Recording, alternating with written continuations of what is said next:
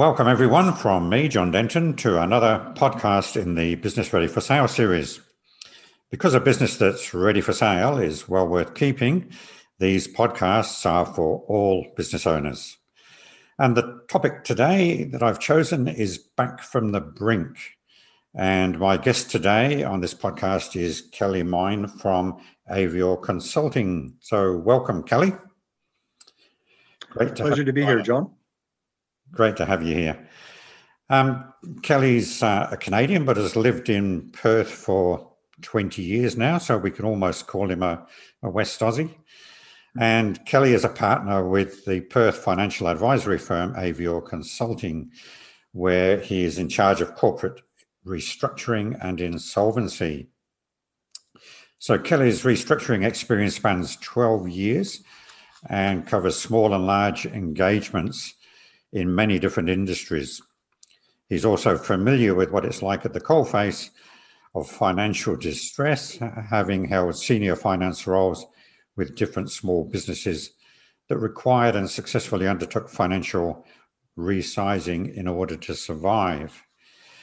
Because of Kelly's um, experience with insolvencies and businesses on the brink of going under, we were chatting recently at a business function about the COVID pandemic and the effect that it's having on businesses and how a lot of businesses are struggling. And that's probably going to get worse when the government assistance that's in place at the moment winds down or or goes off. And it was while talking about that that Kelly told me about a new law that's come into being in Australia, which I believe some a lot of business owners, in fact, and, and quite a lot of accountants don't even know about. And um, yeah, it's to help businesses that, that are on the brink. So, Kelly, tell us a little bit about yourself first, and then a little bit about this law that's come in. Great. Thanks, John. Uh, so, the, our firm Avior Consulting, we our business is to assist companies that are in difficult financial circumstances, but are try- attempting to achieve certain goals. And as part of achieving those goals, some sort of formal insolvency appointment under Australia's insolvency laws is often required. And with what we've gone through during the pandemic and the steep decline of economic activity that occurred during that period, um, the government watched that happen and anticipated that things would likely get worse and had a strong inclination to assist small businesses to the extent that it could. And as a result of that, a new set of laws, um, the Small Business Insolvency Reform set of laws, were introduced in December and became law on the 1st of January. And in terms of back from the brink, um, what we're talking about today, the key set of laws that addresses that is a new set of restructuring laws that are specifically designed for small businesses. And these are different from what we've had in the past um, because of the government's attempt at creating something that is um, especially for smaller businesses. And, um, and they really matter and the reason why they are different is um, the key reason why is because with the, this new set of laws, the directors remain in control of the company whilst going through it. The other types of insolvency re- that are available, the insolvency re- appointments like liquidations and administrations, that is not the case. In those, uh, under those regimes, the directors hand over the keys to someone like me but that but that's not the case with restructuring. And the, so i am involved but i am there to be an advisor and i am there for the company. And that is also something that is quite different as compared to the other types of insolvency solutions there are. Um, in this case i'm there for the company and not there on behalf of the creditors. So that that is something else and something more um, important to keep in mind. And the other thing about these laws, the way and the fact that they've been designed so that the directors remain in control, is that it with they are hopefully set up in such a way so that they'll encourage companies, small small businesses, to come forward and seek assistance and take action toward dealing with their financial difficulties sooner. Uh, because by taking action, action sooner, um, the likelihood of achieving a, a, positive outcome is, is much better. So it's, it's a new set of laws that came into being here at the beginning of 2021. And um, I give the government credit for uh, attempting to come up with something like this. And we're eager to see how um, the time will unfold and how businesses will go in trying to put the new laws into effect. Yeah, it, it's interesting. I think when you and I had the conversation, uh, Kelly, I mentioned the word phoenixing, which um, is something that's happened in the past. And a, a, few insolvency people had mentioned to me that under the, uh, with the government handouts and businesses being propped up by those handouts, that the tendency to phoenix, um, and my understanding of phoenixing is where um, the directors set up another entity and move the assets across from the struggling entity into the new entity and then let the old entity fail, where the creditors and everybody loses out. So this is almost like the way I see it, enabling that kind of thing to happen, but legally. Is am I seeing it right or Yes, I, I, think that what was happening previously without this this set of laws is um, business owners and and the, the, depending on the, the, type of circumstances they were confronted with, there was a, a, a behavior out there. Um, I haven't seen as many examples of that happening in Western Australia, but it's it does sound like it's more visible in in the eastern states and as a as a way of keeping a business alive and keeping it going that that type of behavior of, moving the business from one legal entity to the next and, and and down the line as a chain it did happen. And it did happen in circumstances where the assets were transferred for less than what they were worth. And that's what created the problem. Mm. the assets were transferred for less than their worth which meant that the, the, the company that transferred them did not uh, receive appropriate consideration for dealing with its debts, with, with dealing with its liabilities.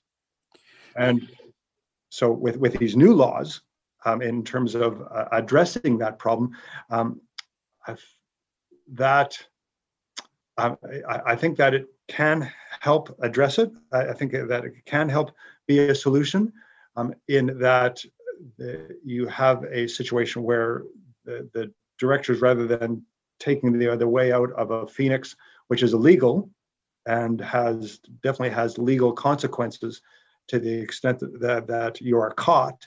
Um, there is a way of dealing with the debts that much sooner in a way that is condoned by the government and in which uh, which uh, the, the, the new laws actually help you take you through. Okay, so this is um, obviously a, a, a, better way for businesses to deal with the situation, and it's better for the creditors as well. So, what what are the other advantages of the the news laws? Obviously, the directors stay involved. You come in and help them to restructure. What what happens then? In entering into the process, the first thing that needs to be considered is whether or not a company is eligible. And so there are certain eligibility criteria that, that need to be addressed. And the key one in entering the process is that the company cannot have debts any more than $1 million. So that, that is number one. Now, having entered into the process, uh, appointing a, a, restructuring practitioner, then the clock starts ticking in terms of there being 20 business days for the directors with the assistance of the restructuring practitioner and other professional advisors, such as the accountant, um, to develop a plan whereby the creditors um, uh, will receive a return of something cents in the dollar. And so that process of developing that, that plan continues for 20 business days. At the end of that period, restructuring practitioner sends out the, the plan, distributes it uh, along with his declaration. Uh, that declaration states that in the, the, the restructuring practitioner's view, that the plan is achievable, that the information is complete, and having sent that out, then creditors have 15 business days to respond. And when in responding, they are voting on whether or not they accept the plan. And if a majority in value vote in favor of the plan, then it will be implemented. And, and that and at that stage, the restructuring practitioner takes control of the, the implementation. It gets in the funds from the company according to what the terms of the plan are, and then is responsible for paying it out. And w- at the end of that process, the whatever those creditor claims were uh, in, that, that were dealt with as part of that plan, um, those the value of those claims are removed from the company's balance sheet.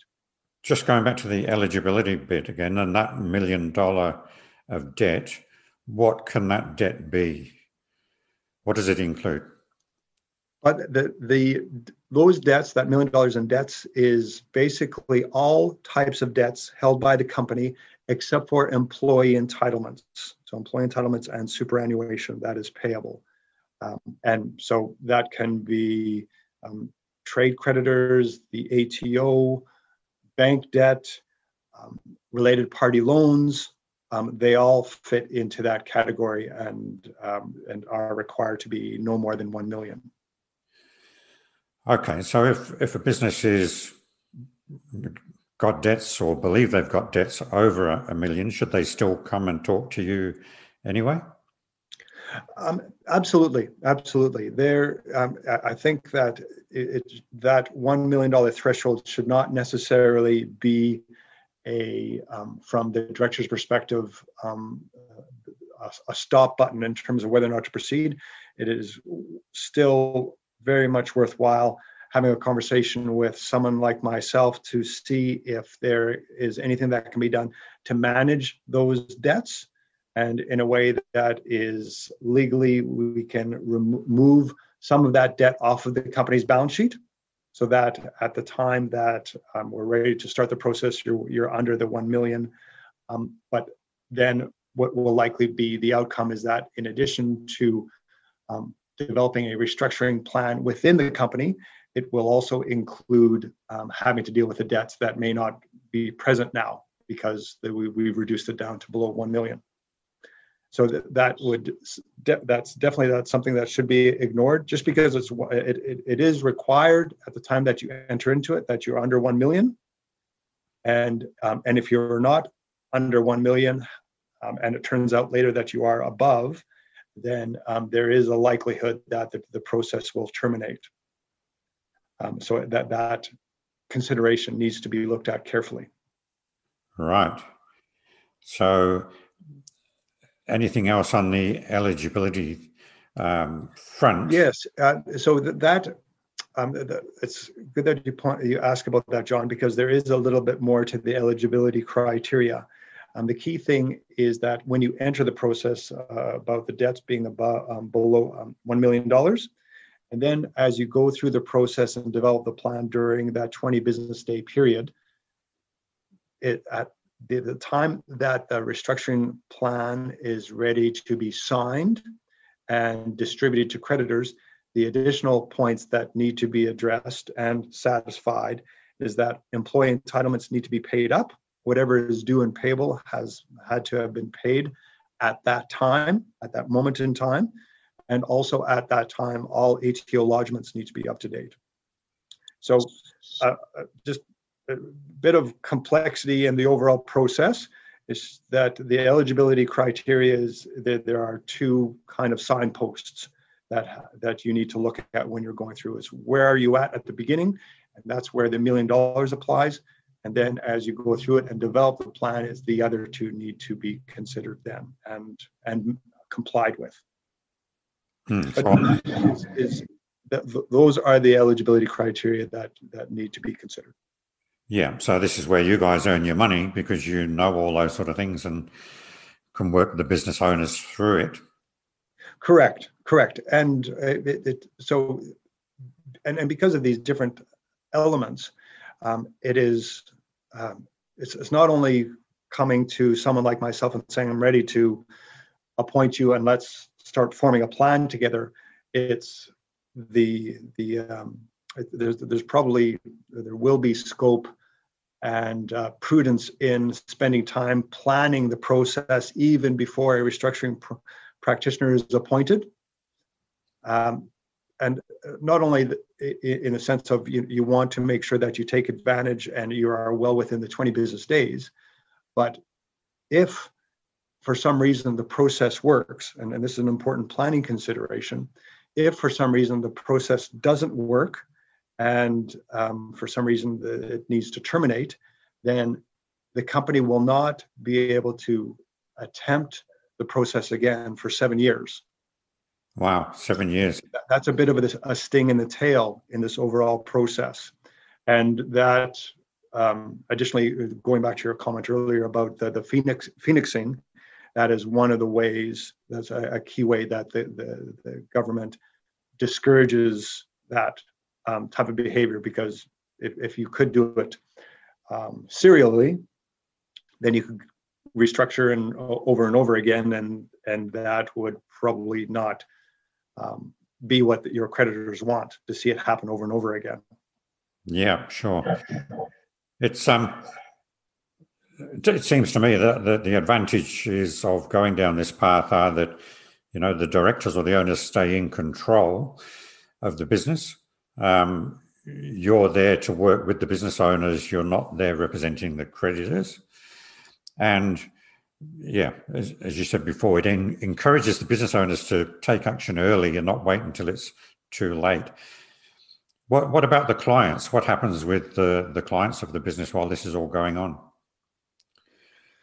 Um, uh, so with the uh, with the creditors of, of the business, um, you know, they are present, and so there's a, a couple of layers to the response to that question. When it's a very good one. Um, number one, um, the, the the creditor's claims up to the date when the restructuring practitioner is appointed are frozen. Um, there, there, a moratorium around those debts has now been put in place, and that moratorium is is similar to what exists now with voluntary administration. And, and by moratorium, that means that those creditor claims, those creditors cannot take any further enforcement action. So that includes statutory demands, pursuing a winding up application, um, debt recovery. Um, that all needs to end when the restructuring practitioner is appointed. And then as to going going forward, um, the, the, yes, the, the company continues to trade, the directors remain in control, and it'll be at the, the suppliers, the, the creditors' decision as to whether or not they choose to continue trading with the company whilst it's going through this process. And so, uh, back to a, a, further planning consideration is the need to um, have those conversations with suppliers uh, as relevant beforehand, so that when the um, the, the, the, appointment does happen, um, they are on board. Because one of the, the legal requirements in entering into the, the, the restructuring is that um, where all public documents, basically anything that goes out to customers, creditors, or what have you, it in relation to the company's name, it has to have restructuring practitioner appointed after it. Oh, okay. So, and and that only needs to be present whilst we're developing the plan and, and up up until the point the vote happens. And so it's it's that's a total of 35 business days. At the end of that process, once the plan is voted for and presumably accepted, then that type of disclosure is no longer needed. Hmm. okay. So interesting. Um, but uh, the point is, it's going to be out there, and it'll likely raise questions, and so there'll have to be uh, consideration will be needed as to how those are dealt with, so as to um, not adversely, you know, cause adverse behavior or their decision to to stop trading with you um, during that process. Hmm. Okay. So there's quite a lot involved. What, um, uh, like with the company's accountants, who would typically be quite often the, the people to pick up the fact that the business is in trouble um, and should be working with the business owners anyway. What role does the accountant have in all of this? I think it's a, yeah, I, I think it's a, a, very good opportunity for accountants and and that they they should be involved and uh, i hope to see that they pick up the reins and have a deep level of involvement. Um, one it gives them the opportunity to um, get deeper into the relationship or, or, or, dive deeper into the relationship. Um, the and the all around uh, developing the solution and the restructuring plan. Um, number two, um, the way that it's managed and in anticipation of the company surviving, um, it's the opportunity to retain the client. Um, so, and uh, as compared to uh, liquidation or administration, where um, unfortunately often the company doesn't survive, does not go back to the accountant. This is different. And lastly, the the the role. I mean, the, the, it's not just providing information that sort of thing. There's no reason why um, depending on the nature of the restructuring plan that's developed, they can be the ones who, um, for example, prepare the financial forecast that underpins the plan. Um, they already had a lot, have a lot of the information, and so in terms of working with the directors, um, preparing the financial forecast and its assumptions, um, uh, from my perspective, I'm very happy to see that, and often they are in the best position to develop that. So the, the accountant the, the, the incumbent external accountant, I think, has a, a very strong role to play in this. And, and, I hope that, you know, as they learn more about the laws, that, that, that they see themselves in that role.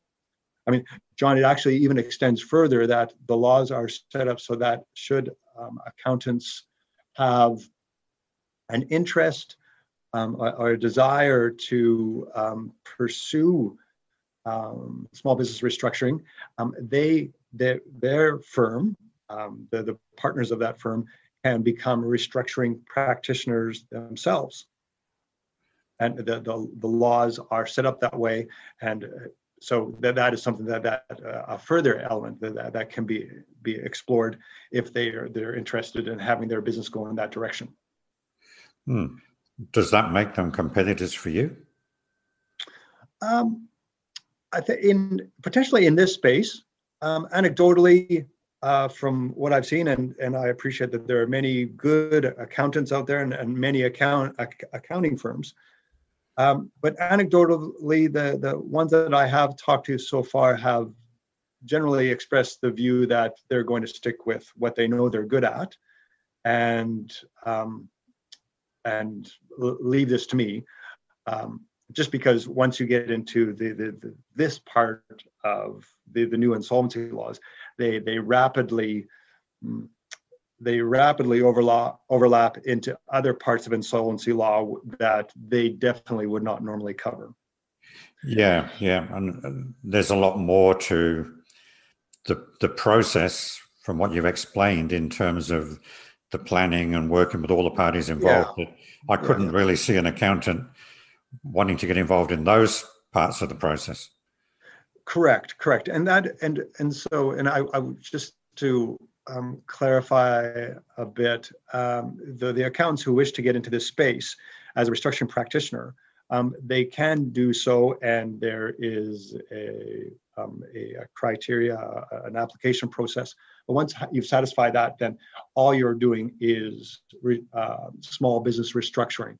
You're not doing liquidations, administrations, receiverships, um, that kind of turnaround work that remains carved out of the way that the laws were changed to encourage accountants to come in.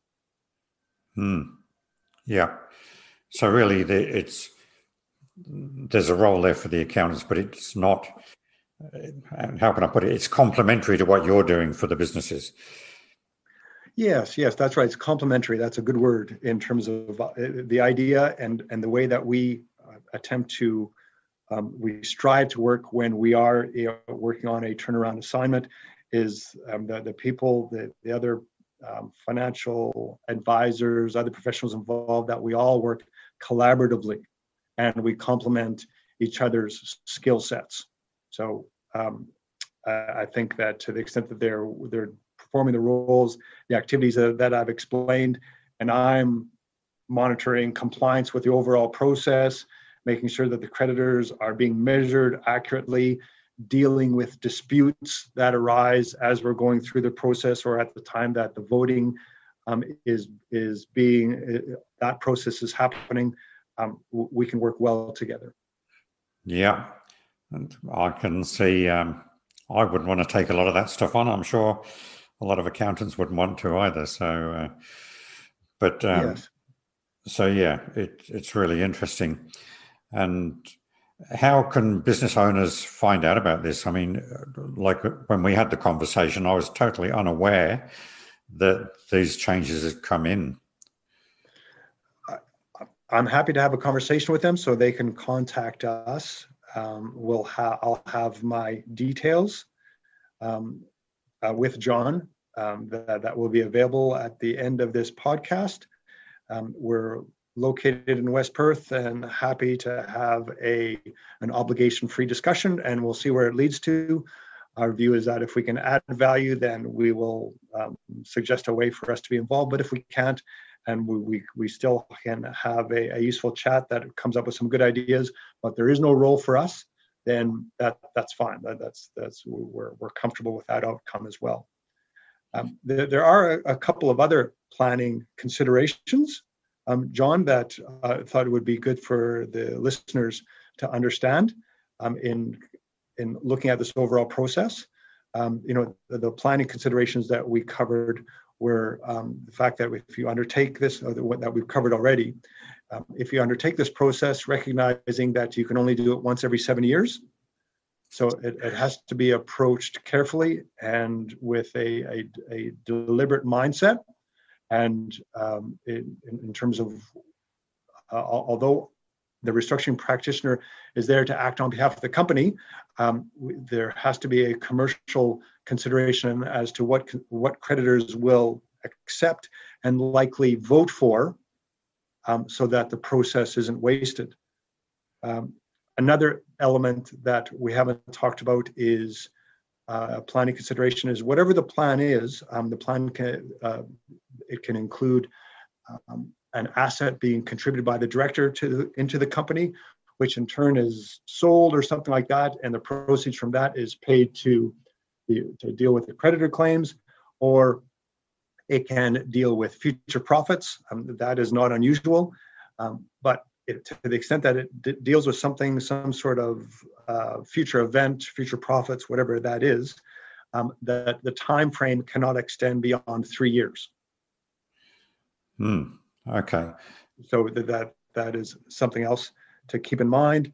Um, the the last, uh, I'll say that I know. Well, there's two other uh, items that will will need to be thought about when we look at the undertaking the restructuring.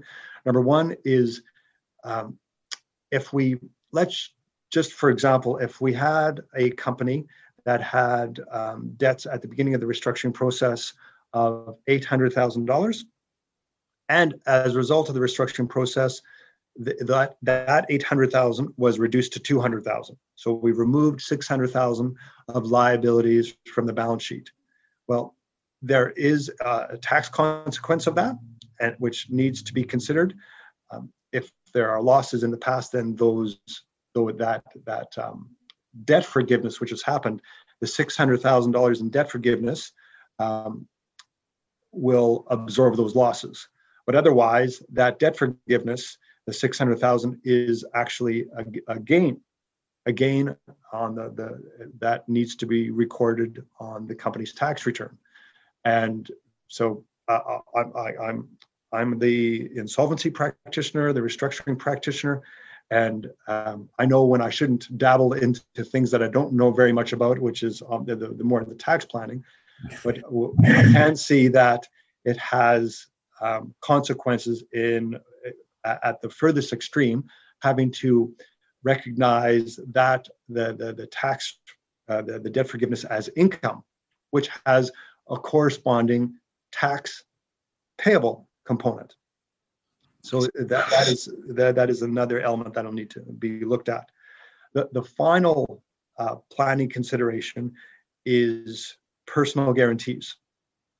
And personal guarantees, um, the, the listeners, they, they'd be very familiar with them and they're required on lots of occasions in terms of opening up some sort of credit, um, dealing with the credit application to start trade. And the, the one thing to understand with the new process is that like administration, like um, deeds of company arrangement, um, the, the restructuring plan that is ultimately entered into, hopefully successfully, is that it will not deal with personal guarantees. Personal guarantees will stay there. And, and the directors will need to deal with them. Um, so that in terms of how uh, there's a lot of different components that that need to be considered when we put it up on the whiteboard and we we we look at this on on uh, at the, the financial reports. Um, and the the personal guarantees is is just another one in terms of how it's they're ultimately going to be dealt with. Um, just because just with a, a, a supplier with um, a personal guarantee just because they're getting 20 cents on the dollar on the debt that is owed by the company doesn't mean doesn't prevent it from going after the director to recover the 80 cents. Mm, okay. That's interesting. It's um i'm just thinking while you were talking there one of the challenges that i come up against uh, in helping business owners get their businesses ready for sale or assess how saleable the business is, it's getting their up to date financials off them. I mean, I keep putting this message out to business owners, but you know, there is no excuse these days for not having your financials up to date. Um, I can imagine for you it would be similar. If you're going to get involved with a business, then you know their financials need to be current, right? Yes, Correct, correct. And um, it, it wasn't as necessary, or it's, it's not as necessary in relation to liquidations and administrations. Um, in, in those cases, we take the company's books and records as we find them and, and deal with them as best we can. Um, and um, because in those cases, you, we've drawn a line in the sand and it's just, it, it probably all just stops. Whereas it, with the restructuring and the new laws, um, there is the anticipation that things carry forward. And in order for things to carry forward and to for for the, the laws to be complied with, it's uh, as you're saying, and and as you with the with the message that you give to the companies that you deal with, it is essential that the company's financials are up to date. And as part of that planning process, we can assist with that in terms of providing guidance. But on the day when the restructuring begins, when and the, the 20 business day clock starts ticking, um, it's important that the financials are up to date and especially that the creditor claims are complete because it, it we wouldn't want to find out afterwards once we're in the process that the company's debts are actually 1.1 million Right. Yeah. Yeah. So the message have your financial support that idea 100%, John. Yeah. Yeah. I mean, I don't know how people make good decisions in their business without up to date financials anyway. I mean, you know, to me, it's an instrument panel. And if you're flying without instruments, well, anything can happen. Yes. So, I, I, agreed on that. And then when you come to sell a business or you go into a restructure or whatever, um, it's just so hard if, yeah, if you got to go back and start working through all those those numbers. So Kelly, that's been great. I'm sure this is going to help a lot of business owners. Can you just summarize for us the the sort of process if a business is coming to you? Um, just what are the steps? Sure. All right. So the the steps that would be that a company that is in some sort of financial distress and it doesn't and and this financial distress is just general. It could have been caused by the, the pandemic um, whatever it is. Um, and and also uh, john it's I, I, I, will go through the process but it's also point, important to point out that these laws are permanent. They are not going anywhere. Um, they are not temporary um, because of this time that we find ourselves in um, with uh, coming out of COVID. Um, they will remain there and will be available to small businesses going forward indefinitely. But as a company that is did, experiencing some sort of financial difficulty, they will. Uh, I encourage them to come to a firm like ours that specializes in uh, assisting companies in financial difficulty achieve goals.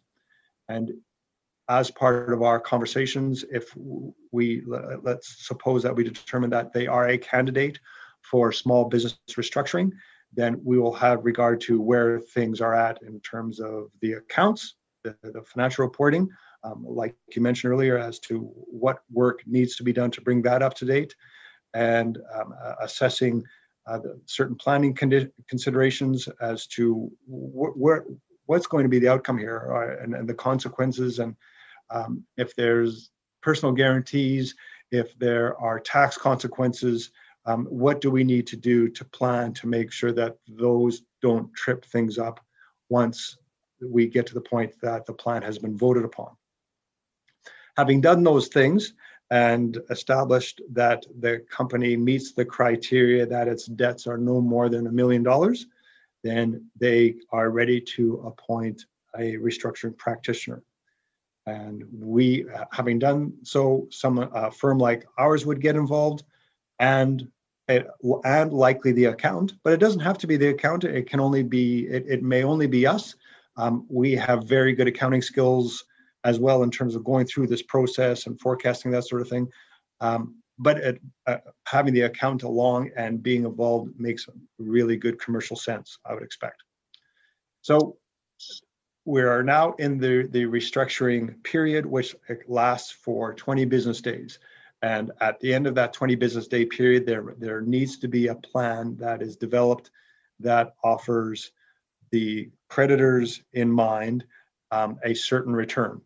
And and, and what that needs to look like that is up to the directors. It is um, it is a very flexible concept um, and and where the money comes from or future profits or that sort of thing it's all on the table.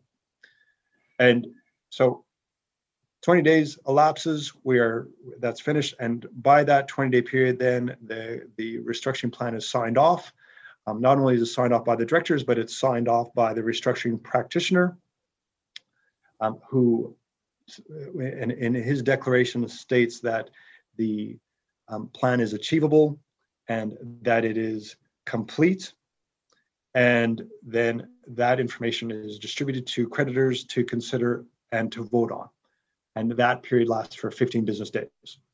And at the end of that period, the creditors are required to have, have our, um, they, they, can participate if they choose to, um, and but the ones that do, of those ones that vote, um, uh, if there is a majority in value voting in favor of the plan, then the plan has been accepted, and it will bind all creditors that were in place on the day that the company entered into the process, uh, which was basically 35 business days ago.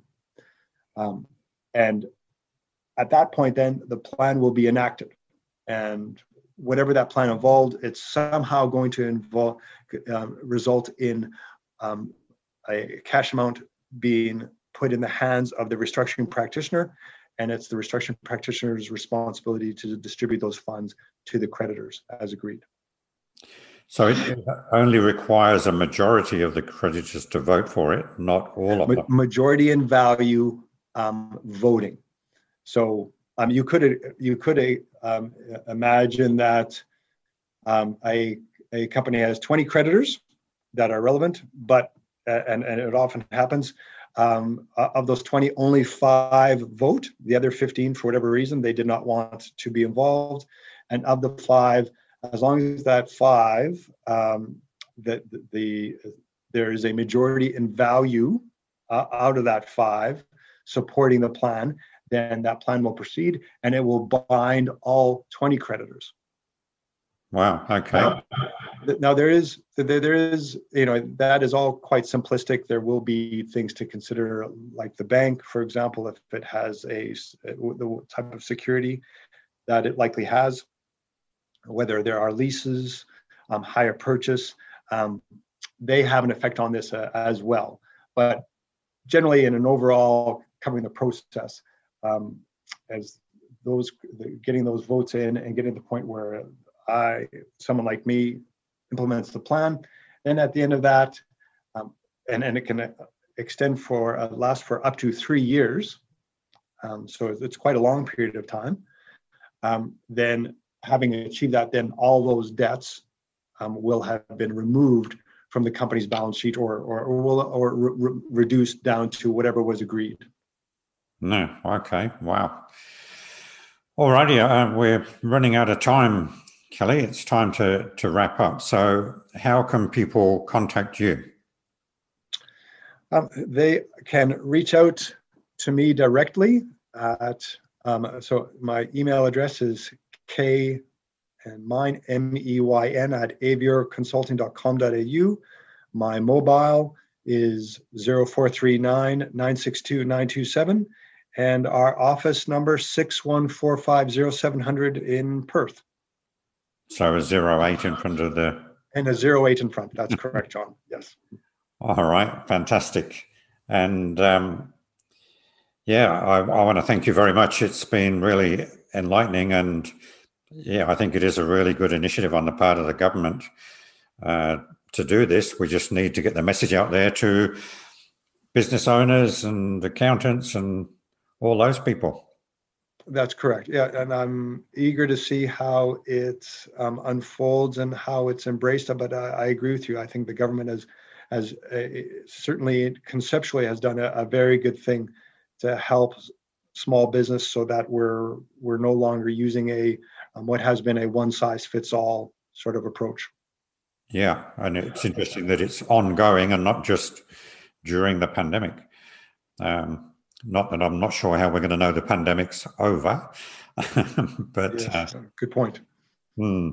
So, all right, that's fantastic. Thank you. And for anyone who is interested, any business owners interested in getting their business ready for sale or having a business ready for sale assessment, then they can contact me through johndenton.com.au or have a look at my online workshops and memberships at johndenton.online. So thank you, Kelly, and thank you everyone for coming on and listening. And yeah, look forward to the next episode in the Business Ready for Sale podcast series. Thanks, John. It's a pleasure. So, folks, just to summarize that chat with Kelly Meyn from Avior Consulting, these new laws are there to help small businesses return from what would otherwise be the brink of insolvency. So, they permit this in a way that enables a company to improve its financial circumstances much faster than would be the case if the directors dug in, more than likely over an extended period, and paid the debts with future profits. So, back from the brink then can be achieved in as little as 35 days, 35 business days, or less than two months. At the moment, not a lot of business owners and even a lot of accountants aren't aware of the law and what it can do to help small business. So, hopefully, this podcast will help to get the message out. And if you want any more information from Kelly, his email address again is K for Kelly, M E Y for Yankee N, K M E Y N at Avior, A V I O R Consulting, all one word, aviorconsulting.com.au. And if you want any more information from me, you can contact me on john at johndenton.com.au or through the website johndenton.com.au. So, looking forward to the next podcast and another interesting interview soon. Bye for now.